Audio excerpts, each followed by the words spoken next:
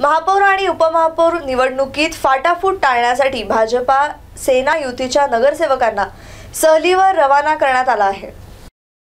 औरंगाबाद महानगरपालिकेत संख्याबळ अधिक असलेल्या शिवसेना भाजप पक्षाकडे महापालिकेची सत्ता आहे. युतीमध्ये झालेल्या करारानुसार आगामी एका वर्षासाठी महापौर पद भाजपाकडे तर उपमहापौर पद शिवसेनेकडे जाणार आहे.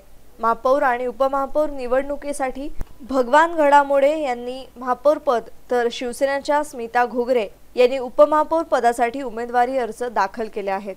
येत्या चौदा डिसेंबर रोजी महापालिकेत आयोजित विशेष सभेत महापौर आणि उपमहापौर निवडीसाठी सभागृहातील सदस्य हात उंचावून महापौर आणि उपमहापौर निवडला जाणार आहे. महापालिकेत युतीसह काँग्रेस आणि एम आय एम पक्षाकडून उमेदवारी अर्ज दाखल करण्यात आल्याने तिरंगी लढत होणार आहे.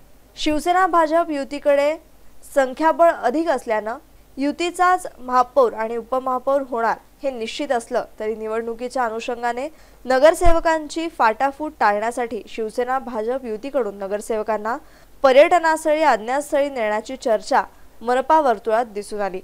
यामुळे महापालिकेतील नगरसेवक चौदा डिसेंबर रोजी महापालिकेत आयोजित विशेष सभेला ऐनवेळी येऊन महापौर आणि उपमहापौर निवड प्रक्रियेत सहभाग घेतील यात शंकाच नाही.